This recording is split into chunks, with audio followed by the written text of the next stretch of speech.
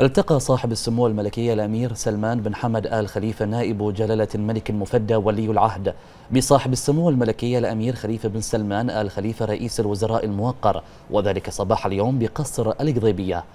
وخلال اللقاء أكد سموهما أن الجهود التي يبذلها حضرة صاحب الجلالة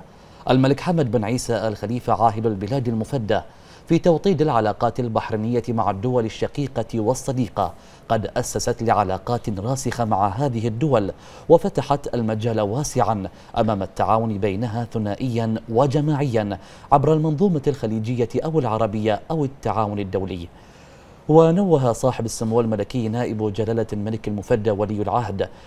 وصاحب السمو الملكي رئيس الوزراء بمسار برامج التنمية التي تتبناها الحكومة وفعاليتها في التعامل مع متطلبات المرحلة وفق منهج اقتصادي أكثر ديناميكية يعزز الاستقرار المالي ويدعم جهود التنمية الاقتصادية.